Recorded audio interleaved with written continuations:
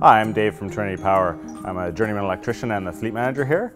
Today we'll be talking about our 800 amp automatic transfer switch. So the primary usage of this would be if you have two generators uh, and you want to have it where if you lose power it'll start up the other generator and switch your load over or if you've got utility and generator, uh, when you lose utility this will start up the other generator and transfer the load over. Rated up to 600 volts, it has settings for 600, 480, uh, 208 and 240 volt and 800 amps max. It comes in a uh, forkliftable, pallet jackable, uh, and craneable frame, which also has protection for when it's on a truck with straps over it, so you don't crush the uh, enclosure. It's a NEMA 3R enclosure, so it's good for outside. Some of the features we'll show you are inside the uh, connection box. In here we've got a Camlock slotted plate, and if you've got cables, we've shown just a few in here to show how they can be strapped inside, and they can be run through here and connected to your supply and load. If you weren't going to use Camlock cables, we've got a hardwire plate in the back here that can be swapped out and then you can punch your holes and run your TECK cable or pipe, whatever you, you want to run into it.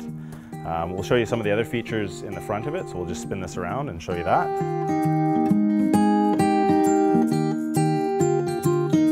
So carrying on with uh, setup and uh, troubleshooting, we're at the front of the unit now. On the very front of the unit, you see we've got a, a Lamacoid that shows you what voltage it's set to. First thing is ensure that it's set to the correct voltage that you're going to be using it at. And we also have on our unit a automatic and a manual mode. So if you're going to be using it in the auto mode, you have to make sure that you are switched into the automatic mode. Um, in the manual mode, you can switch between the two sources. Uh, in the automatic, it will switch from utility to generator when you lose utility. We'll just open up and have a look inside here. So in here we've got a voltage selector switch down here.